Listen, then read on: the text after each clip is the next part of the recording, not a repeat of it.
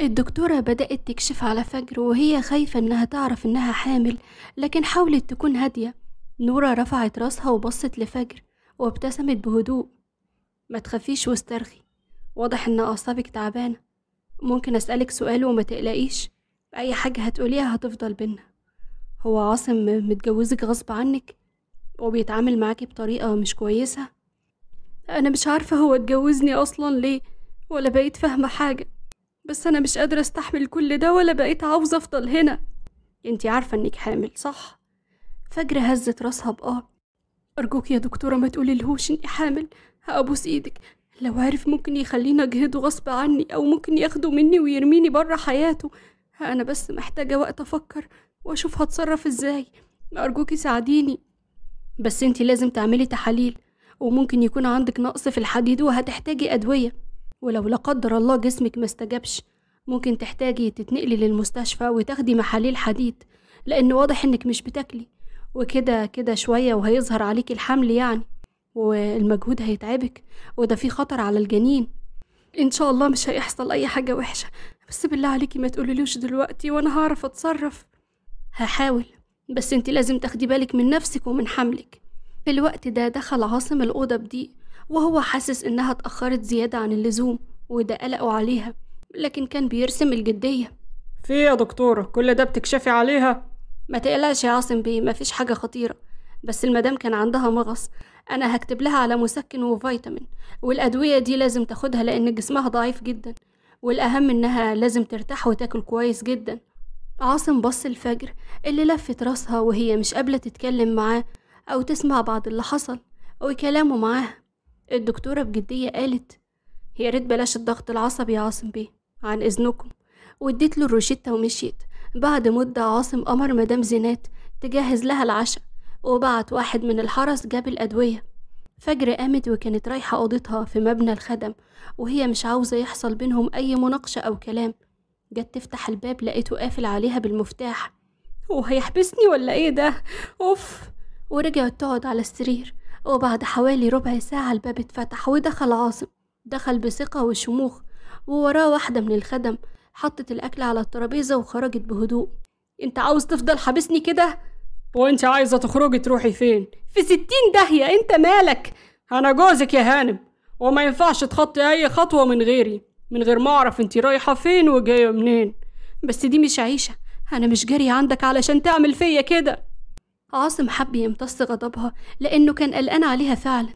عندك حق انت مش جارية وهسيبك تعملي اللي انت عاوزاه بس ممكن تاكلي الأول وتاخدي دواكي وبعدين هتخرجي. يلا يا حبيبتي مفيش داعي للخناق دلوقتي. ماليش نفس آكل أنا هاخد العلاج وخلاص. لا طبعا ما ينفعش يا حبيبتي. وبعدين علشان العلاج مفعوله يشتغل لازم تاكلي.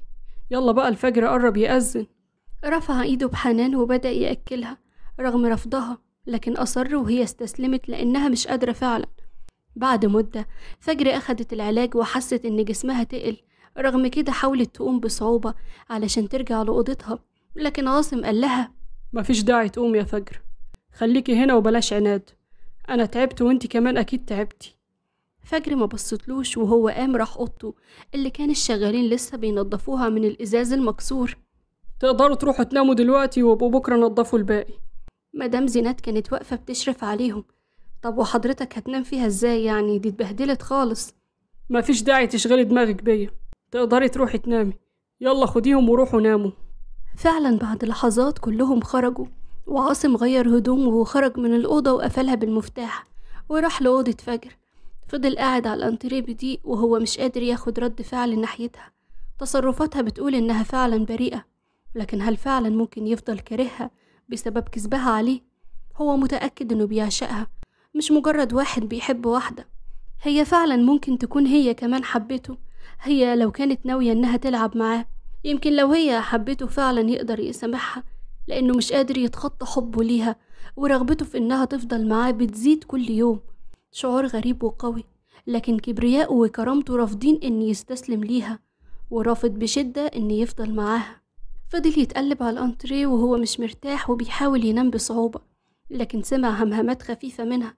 بصلها وهو مش قادر يقاوم رغبته إن يروح لها وكأنها بتدعوه بمنتهى الأريحية. قام فعلا وراح ناحية السرير. كان شعرها نازل على وشها. مد إيده وبعد شعرها. شافها متضايقة. حس بالحزن وقلبه اتقبض وهو شايف أثر لدموعها. مال عليها بس غمض عينيه وهو بيسيطر على نفسه وبينام.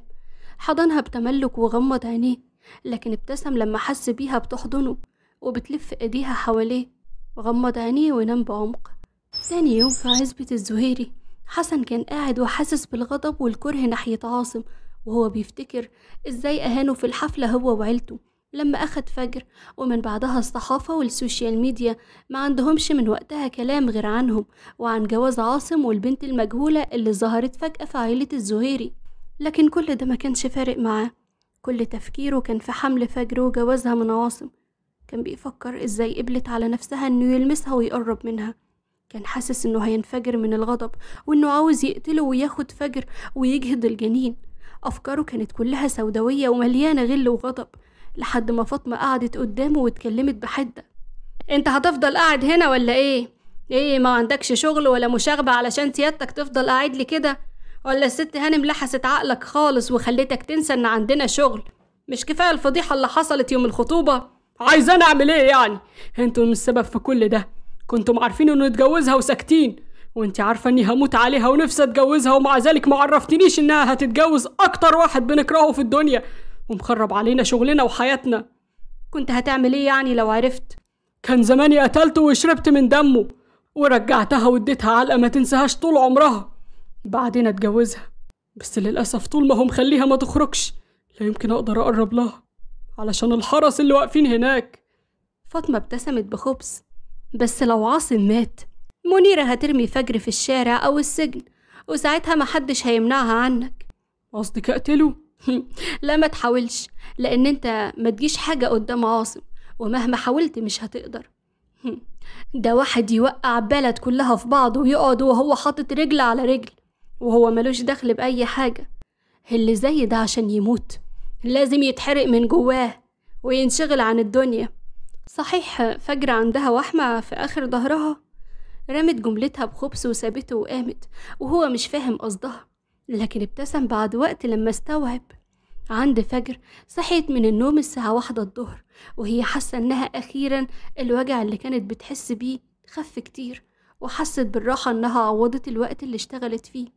لكن حست بالخوف لما بصت من البلكونة وعرفت إن الوقت اتأخر وإنها فضلت نايمة كل ده وأكيد مدام زينات مش هتسيبها ولا عاصم ولا والدته علشان كده كانت هتخرج بسرعة لكن وقفت تبص لنفسها في المراية كانت لابسة بنطلون البيجامة بتاع عاصم و top أسود بحمالات ولقت تيشيرت البيجامة مرمي على الأرض لكن ما كانتش فاكرة قلعته إمتى أصلا حطت إيديها على شعرها بحيرة وهي بتحاول تفكر وتفتكر لكن ما قدرتش.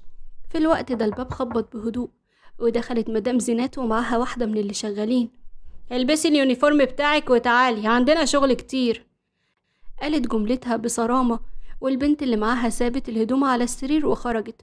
وهي مش فاهمة إزاي مرات صاحب القصر تشتغل خدامة فيه ورغم كده باين عليه إنه بيحبها.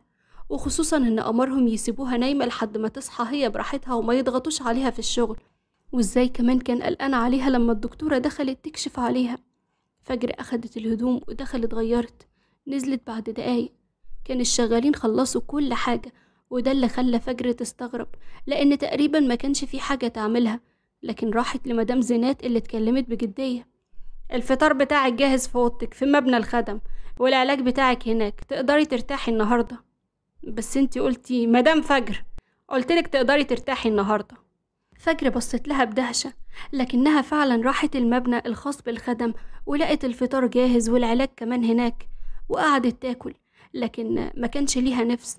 علشان كده خدت العلاج وفضلت قاعدة تبص على الجنينة الكبيرة اللي ورا القصر خصوصا إن القصر في أول العزبة والجناين حواليهم اللي مزروعة كانت على مساحة فدادين لكن ما شافتهاش ولا مرة. اتنهدت بملل لكن غمضت عينيها وقررت تنام لأنها مش عارفة هيجيلها إمتى فرصة تنام بعمق مرة تانية؟ عند جيجي في القاهرة كانت لسه حاسة بالغضب وإنها مش قادرة تتخيل إن عاصم كان متجوز الفترة اللي فاتت. حست بالغضب والغيرة لما عرفت إنه اتجوز البنت اللي كانت شافتها في الحفلة. كانت قاعدة في أوضتها لما الخدامة خبطت. أدخلي! جيجي هانم مدام منيرة وأنسة نيرة الأنصاري تحت وعاوزين يقابلوكي. منيرة هانم بنفسها؟ معقول جاية من الفيوم لحد هنا علشان تقابلني؟ طب عاوزة إيه؟ بصي قدمي لها عصير وأنا هغير وجاية. وجهزي العشاء. جهزي عشاء يليق لوالدة عاصم. حاضر يا هانم. جيجي قامت بسعادة. كانت عينيها بتلمع بطمع وهي بتغير هدومها. وبعد مدة نزلت. أهلا أهلا يا منيرة هانم. الفيلا نورت والقاهرة كلها نورت. إزيك يا نيرة؟ أنا زعلانة منك. معقول تعرفي اللي حصل وما تجيش الفيوم؟ انت عاوزاني أجي إزاي يا هانم بعد ما عرفت ان عاصم اتجوز؟ أنا اللي من حقي ازعل لأن المفروض كنت أنا اللي ابقى مراته مش البنت الجربوعة دي.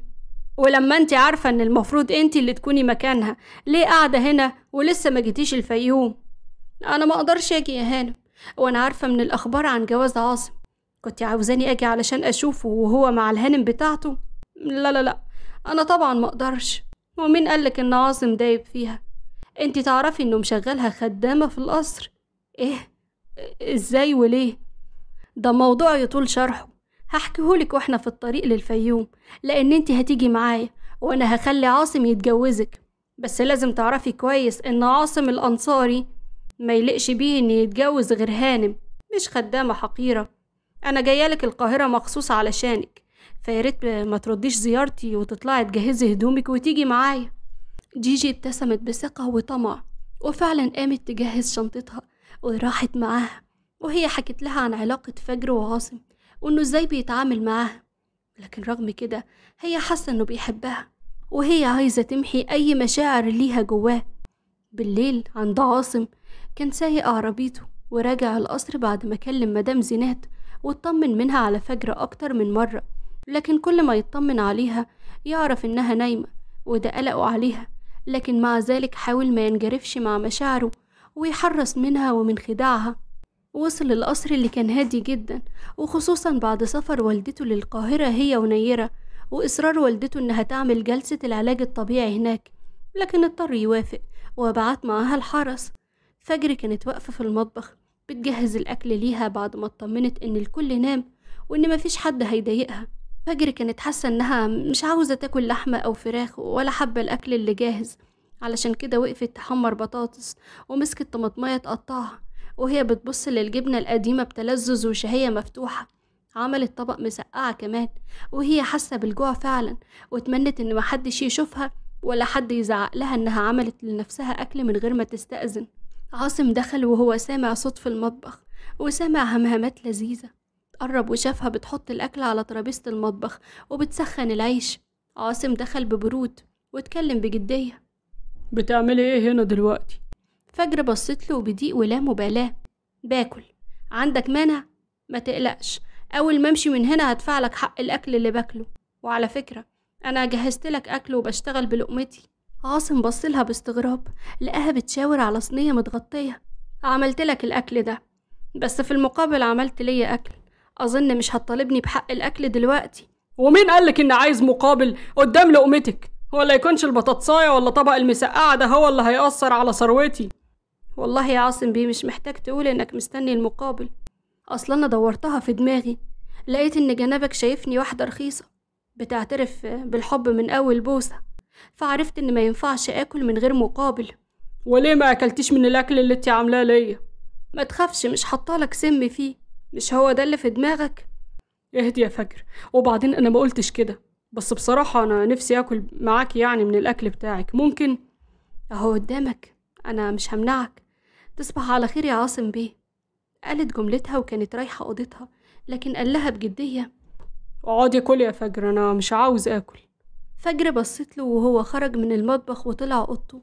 بعد ما حس إنها فعلا مش حابة تتكلم معاه أو تشوفه فجر فضلت واقفة مكانها وحاسة بالضيق لكن أخدت الأكل اللي كانت مجهزاه ليه وبصت لطبق البطاطس والمسقعة وراحت عملت له سندوتشات. طلعت على أوضته وخبطت على الباب وحطت الأكل ونزلت بسرعة قبل ما يفتح. عاصم بص للصينية اللي على الأرض وأخدها وما كانش له نفس ياكل لكن ابتسم لما شاف السندوتشات.